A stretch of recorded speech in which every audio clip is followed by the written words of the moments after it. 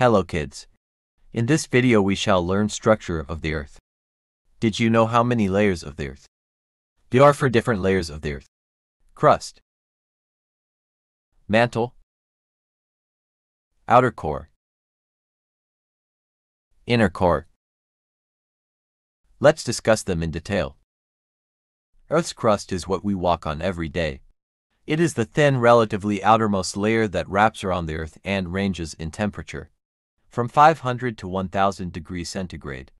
The crust is split into two types, continental and oceanic. Earth's crust is 5 to 70 kilometer thick.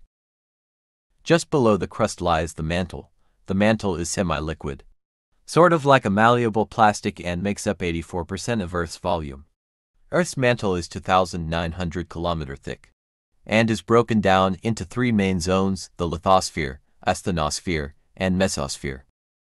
The outer core lies beneath the mantle. This liquid iron and nickel layer spins as the planet rotates and creates Earth's magnetic field. This magnetic field helps to protect us from the sun's solar radiation. The outer core is 2,200 kilometer thick and very hot at up to 6,100 degrees centigrade. The inner core is the innermost layer on Earth. It is also made up of iron and nickel, but the pressure is so high that it is no longer liquid. The temperatures in the inner core are as hot as the surface of the Sun, about 5,505 degrees centigrade.